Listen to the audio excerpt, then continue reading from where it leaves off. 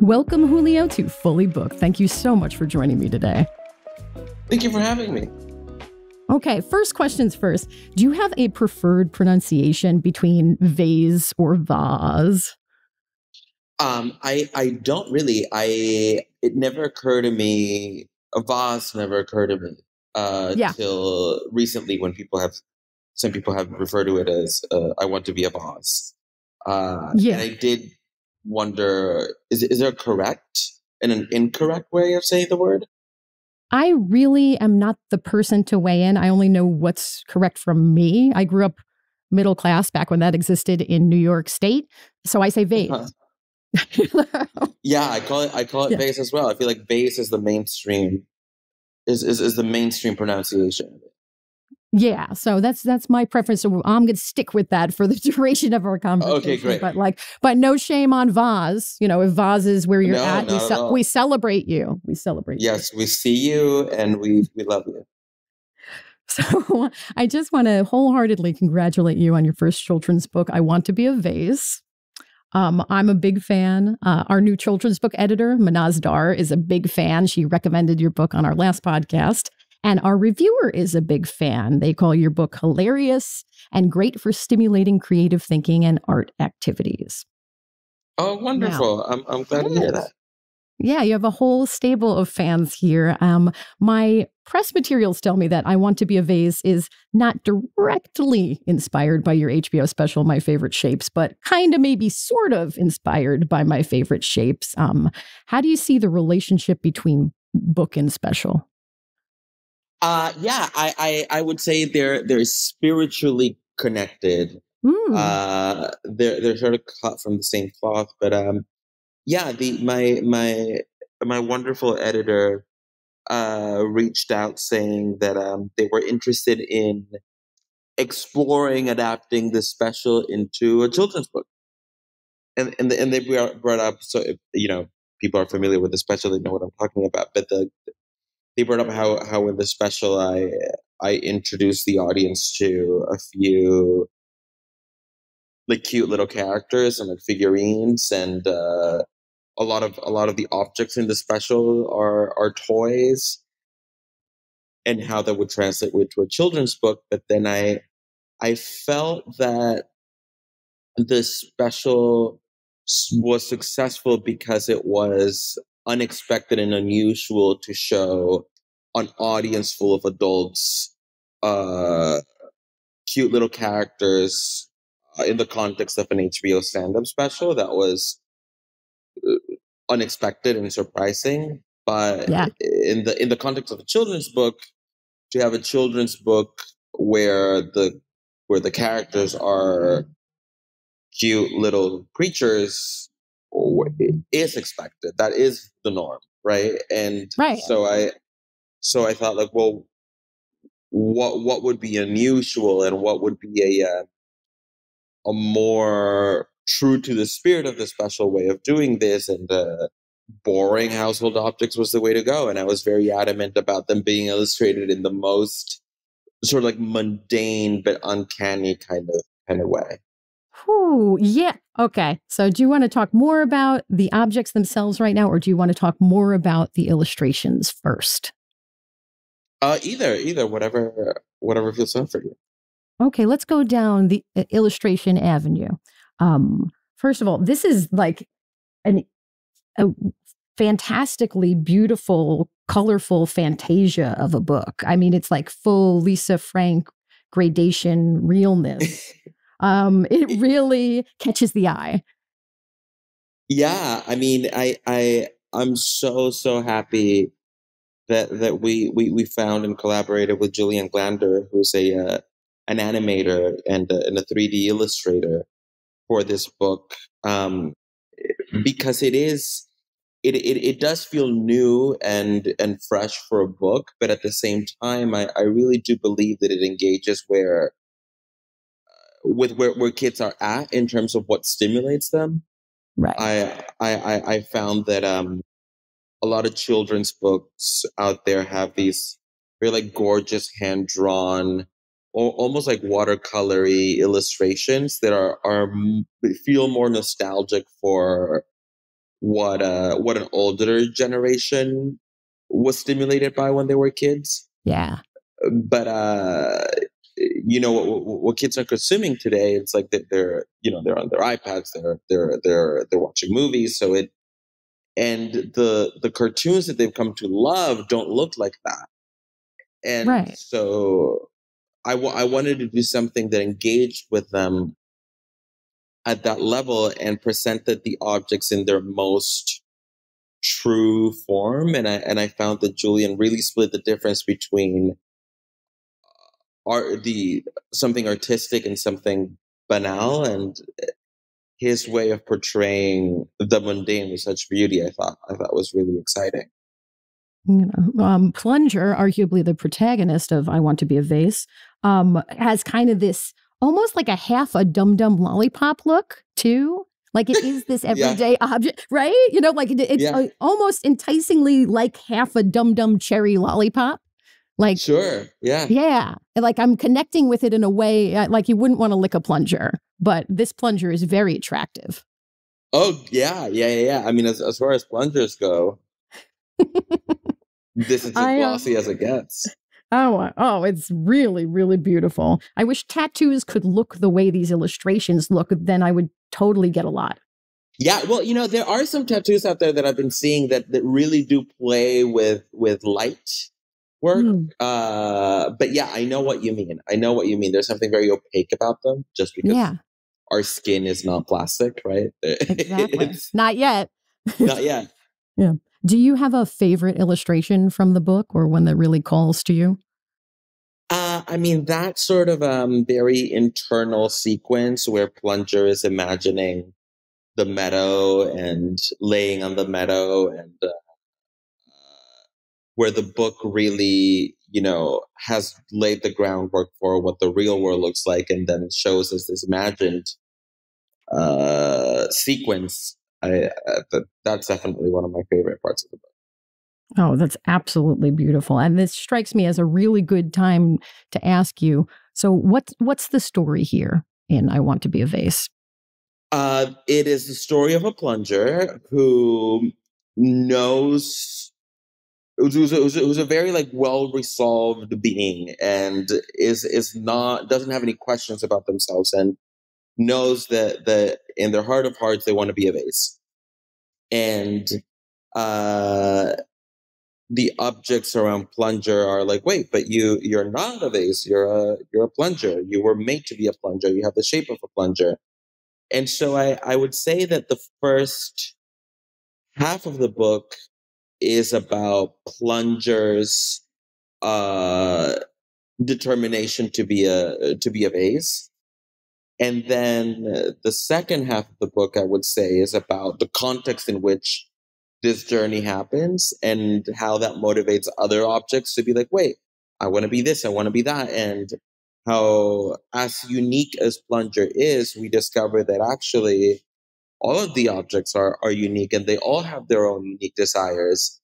Uh, and also it engages with a, a naysayer, which is a vacuum, a vacuum cleaner, who is like, wait, no, you, uh, you, you, you can't be that. You can't do that. And it explores also why sometimes there are people out there who are resistant to uh, the unusual or changes around them. Hmm. I having seen your comedy special and having read and reread and reread this beautiful children's book, like, are you do you have a special affinity for epiphanies, you think? I do. Yeah. Uh I, I, I, I gasp because that's I, th- I think no one's ever brought up that before, but I, I hmm. really do. I someone having a, a revelation is is very enticing to me and yeah. someone learning someone like i feel like someone breaking the mold of what they thought the world was is is very exciting to me yeah i mean it's really really exciting to me too it's kind of really what i'm about because i've had a very varied life where i have become you know i or i've served my role as a person on the earth in like much different ways than I ever w- would have could have imagined for myself when I started out. you know, and also like I really lacked for representation along the way. So kind of felt very weird and outsider and icky, but still kind of marched to my own drum. And that's why I love this book so much.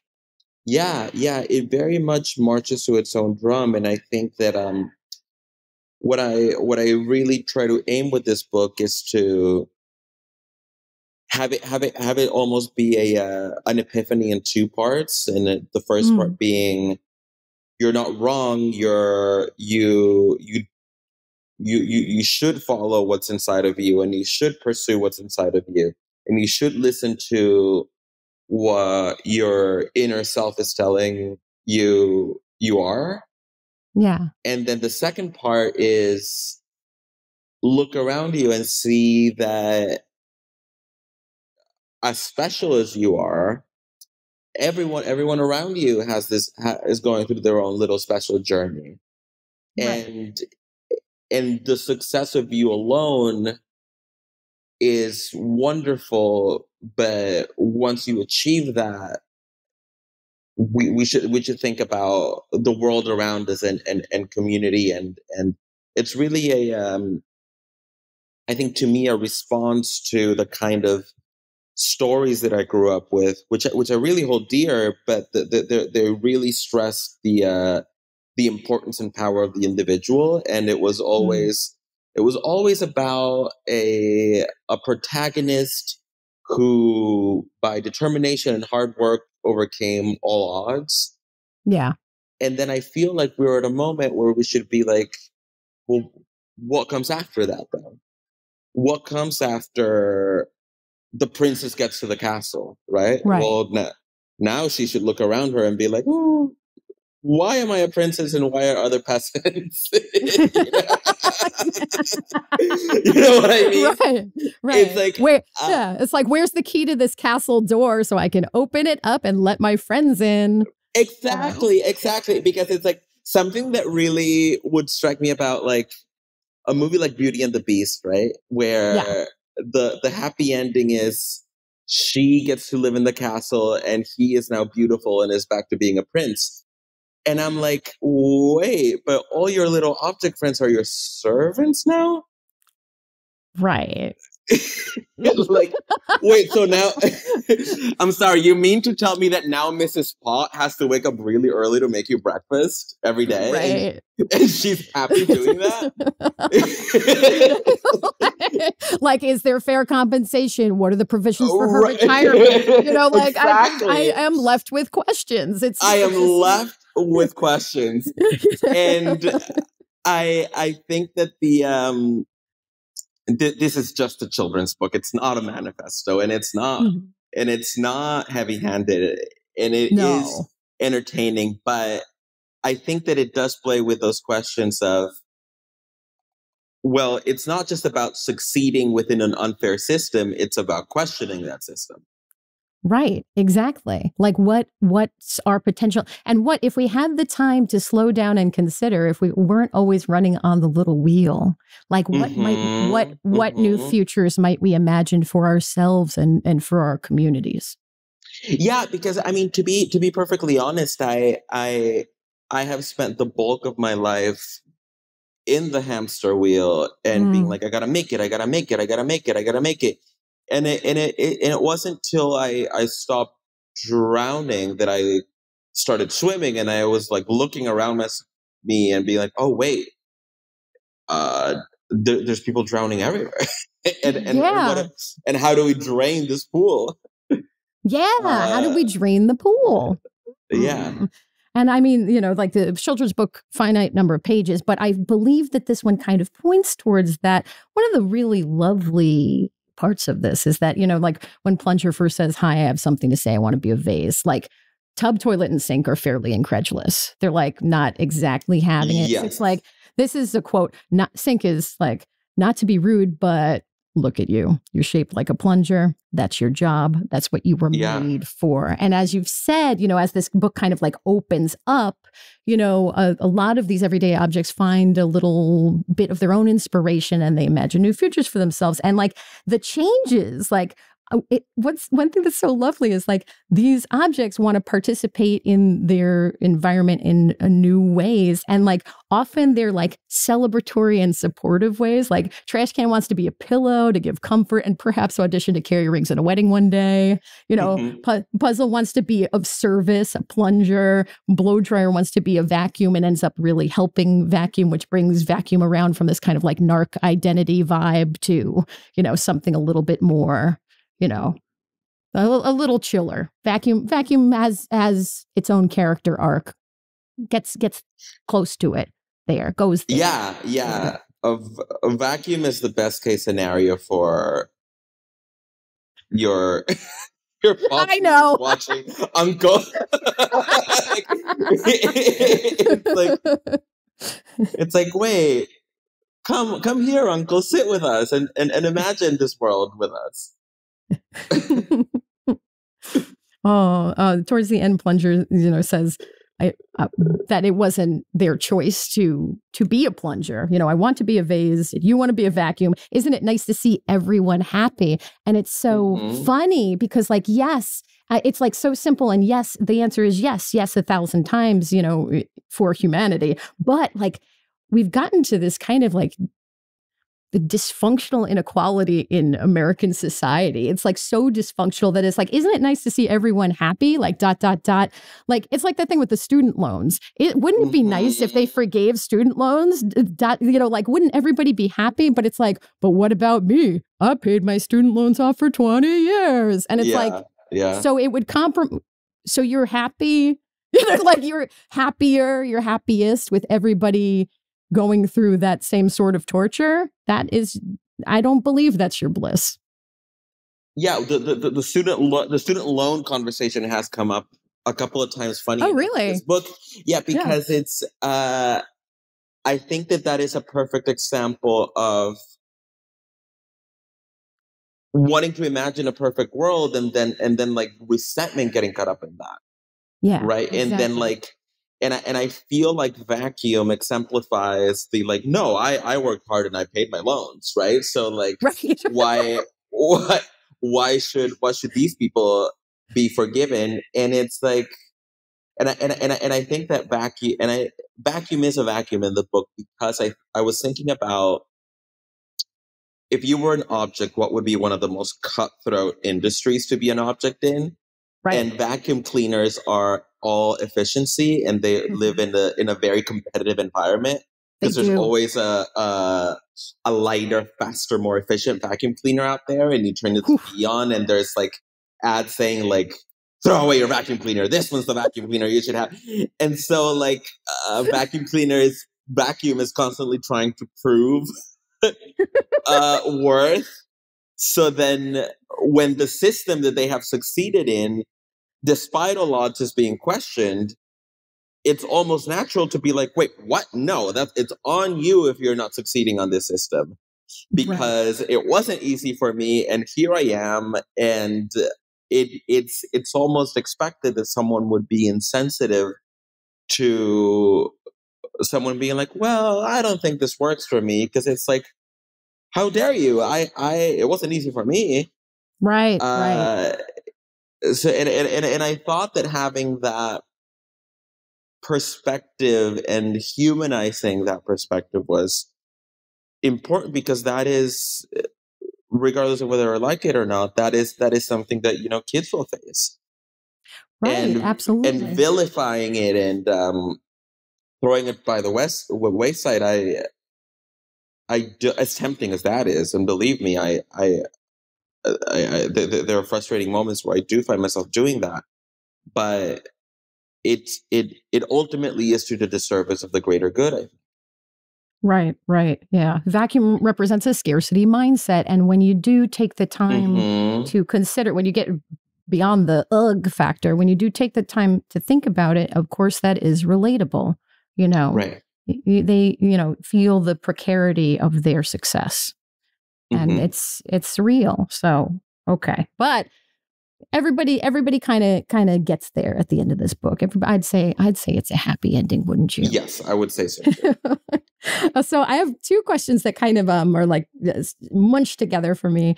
Um, what was the writing process like for this book? And also, does a children's book resemble a comedy sketch, like structurally, or when you're piecing it together at all? Well, yeah, it makes sense that those questions are are together because uh, I the way that I approached it was in many ways no different than I would writing a, a comedy sketch. It oh. was I I think that the um the manuscript for it read like a script. And mm-hmm. it was uh to the point where there were almost like camera directions. Uh yeah. and zooms and pans and close ups. Uh and I thought about it as dialogue like like like like film dialogue and um uh and it's it really i think it's it plays with the idea of book as all, as an almost audiovisual uh medium and i i i was also very informed in terms of the layout by memes yeah and how memes are very efficient at communicating humor just yeah. by the placement of the text yes and yeah, and and and I, and I and I and I thought that was a very exciting thing to do with a to do with a book, to I, have the format bend to the to the needs of the the story rather rather than the other way around. I absolutely love that, and yes, like that. Yes, this answer sings for me. It's so funny. Part of my courtship with my girlfriend was we started memeing one another's baby pictures. Yeah. Yes. Uh-huh. and then I was like, I was like, this is how yeah. I know. Like, what the bat mitzvah photo is my absolute favorite. But like, I was like, this is how I know that this is the real deal. So be, yeah, yeah. but um, be that as it may, I oh, you've been so generous with your time with me, and I see that we may have time for one more question if you're game. Yes, go for it, please. So I'll just get uh, this is my my tried and true all-time classic, most hospitable question, which is: Is there anything else you'd like our listeners to know about about I want to be a vase, or um, any other stray thought flying around at the end of our conversation you'd like to share? Well, I, I, I really hope that the book becomes uh, a cherished object in itself, not just uh, because of the story it contains, but because I do think it's so beautiful. Yeah. Um, I like growing up. My my favorite books as a little kid were my parents' coffee table books. Oh yeah, and, and flipping through art books and like staying on every page and contemplating that. And I, yeah, I I I, I really invite for that to like take your time with the book and uh yeah I, I i hope it becomes one of those objects in the house I, I think it will. It will for me. And I thank you so much for the joy of speaking with you today and the joy of reading this book. Julio, thank you for joining me today on Fully Booked. Thank you so, so much.